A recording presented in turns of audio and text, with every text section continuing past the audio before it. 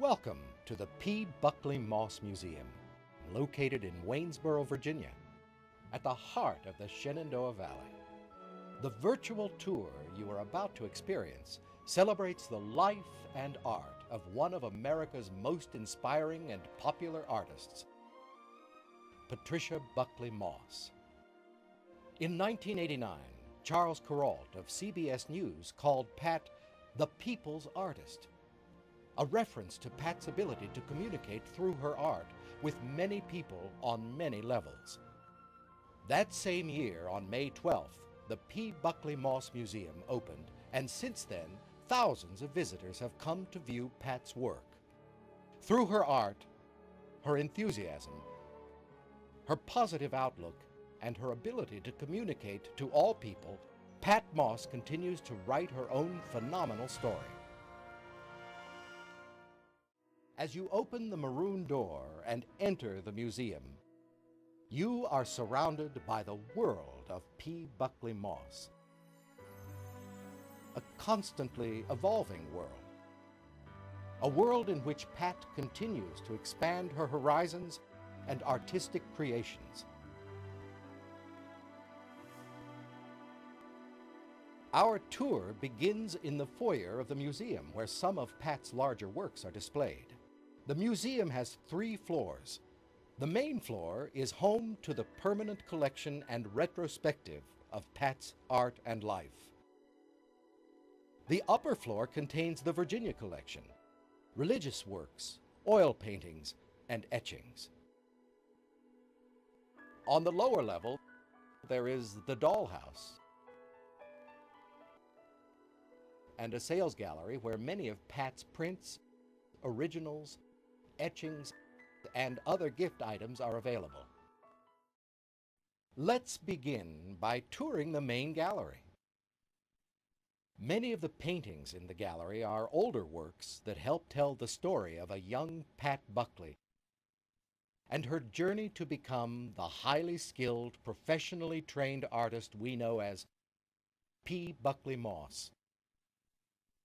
In parochial school, a nun realized that while Pat was not learning to read, she did have a talent for drawing. Accolades were never for academic achievement, but always for her art. Billy Mean Goat was written and illustrated by Pat during her Washington Irving years. The story is about a boy named Danny who meets a cantankerous goat named Billy Mean Goat. The two become fast friends and spend time playing in the forest. Pat was already creating her own stylized figures. In 1951, Pat was accepted and received a full scholarship to the Cooper Union.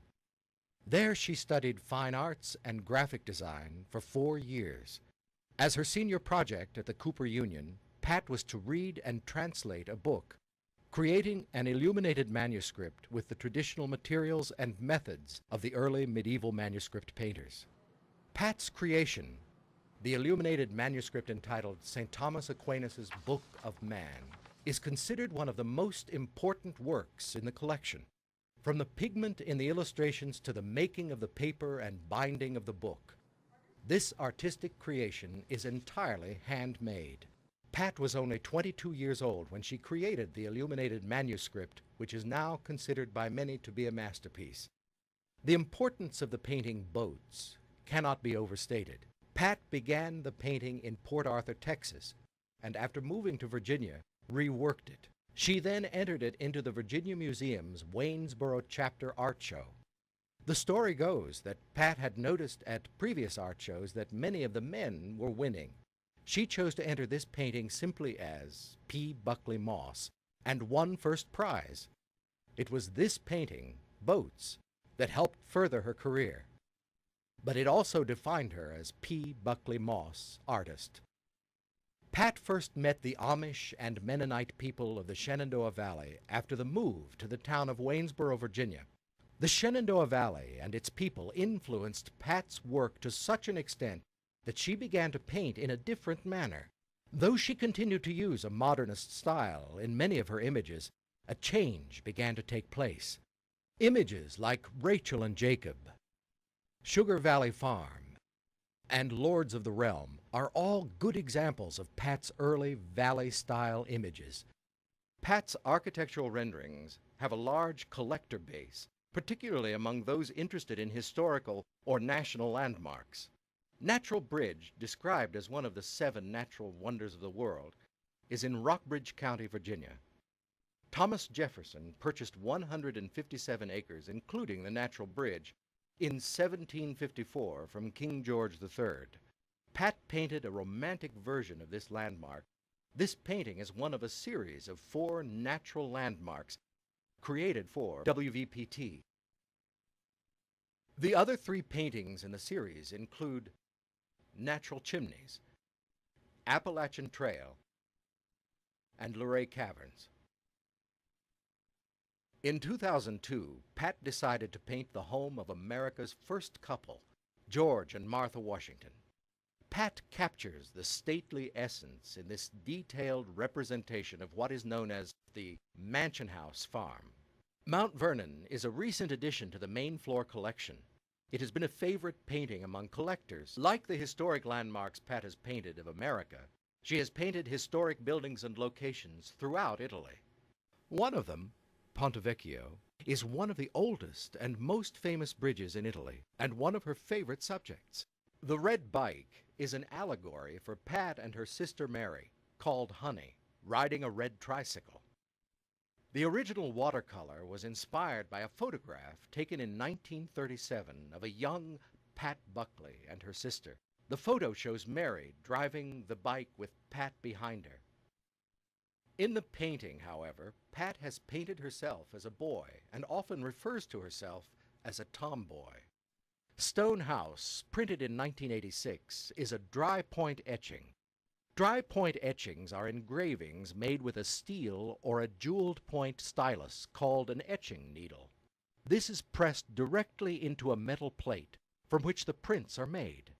Gaggle of Geese, printed in 1982, is a superb example of a serigraph or silkscreen. This type of printmaking involves a stencil process whereby ink is forced through a fine silk-like mesh the reading lesson is a rare image in which Pat combines calligraphy and image in a typical classroom scene. There is some irony in the reading lesson when the artist is dyslexic and has struggled for years with reading. Suffer Them to Come to Me is Pat's tribute to the victims and families that suffered indescribable losses during the terrorist attacks on the Twin Towers, September the 11th, 2001. Of this painting, she says, Suffer them to come to me is my very personal reaction to the events of September 11th, 2001. The act of painting the disaster helped me to work through my emotions and come to terms with reality. This painting pays tribute to the heroes who died to save the world. Joe Waterbury created a traveling dollhouse built to scale, three inches to a foot. When the Moss Museum opened in 1989, Joe built a house to fit under the staircase. Visitors to the museum may amuse themselves by finding and counting the glass and wooden mice hidden in nearly every room of the house. The exact number of mice in the house changes from day to day. Once the mice are counted, the visitor is presented with a sticker that says, I counted all the mice in the P. Buckley Moss dollhouse. This has been an abridged tour of the P. Buckley Moss Museum. For a complete personal tour, please visit the P. Buckley Moss Museum at 150 P. Buckley Moss Drive in Waynesboro, Virginia. For large groups or children's tours, please call for reservations. If you are not interested in a formal tour, you may tour the collection using the self-guided tour book or browse on your own. Admission to the museum is free. For more information, call 800 343 8643 or on the web at www.pbuckleymoss.com.